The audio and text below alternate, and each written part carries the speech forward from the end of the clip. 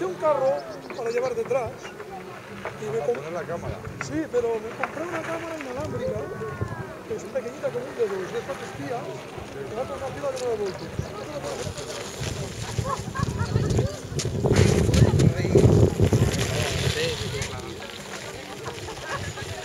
de nuevo